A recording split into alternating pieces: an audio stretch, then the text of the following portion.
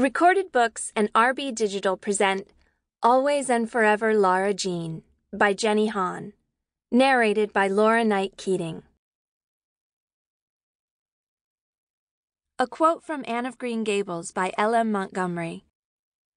I don't know what lies around the bend, but I'm going to believe that the best does. Chapter 1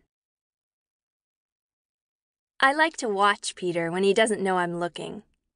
I like to admire the straight line of his jaw, the curve of his cheekbone.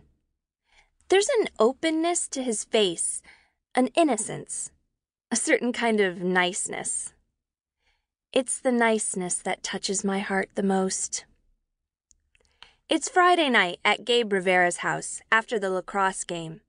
Our school won, so everyone is in very fine spirits. Peter most of all because he scored the winning shot. He's across the room playing poker with some of the guys from his team. He's sitting with his chair tipped back, his back against the wall.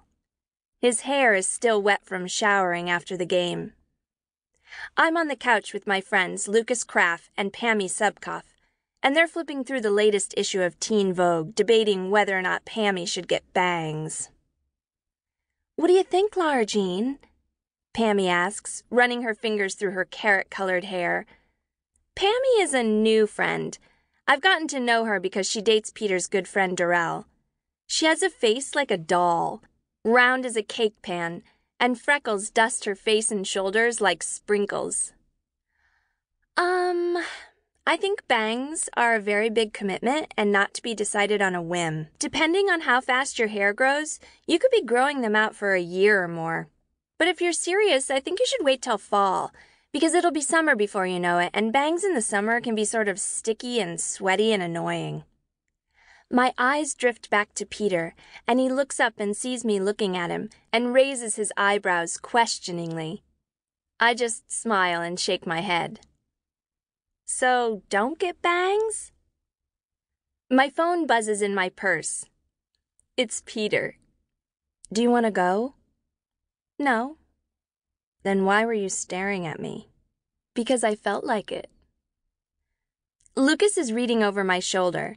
I push him away and he shakes his head and says, Are you guys really texting each other when you're only 20 feet away?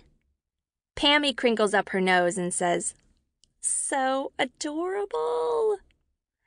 I'm about to answer them when I look up and see Peter sweeping across the room toward me with purpose.